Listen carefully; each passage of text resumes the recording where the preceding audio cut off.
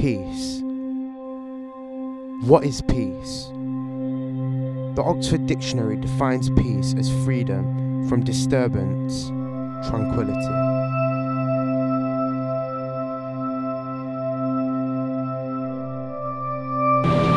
So today we're taking to the streets of Leeds city centre to ask the general public how they feel about world peace.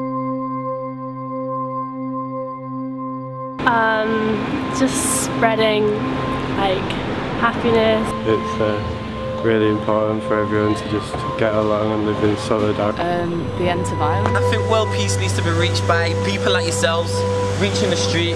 It shows the good in humanity. Kindness Yeah. more than anything. We have situations where we have tragedies and, and people pull together. So if we can do that, why can't we do that all the time? And just everyone smiling. Peace is what we need. Um, and world peace is just the ideal of human existence. Calm. Yeah. Solidarity. Yeah. It's not about Facebook, it's not about the internet, it's about getting there and doing the thing. More people need to share love around the world.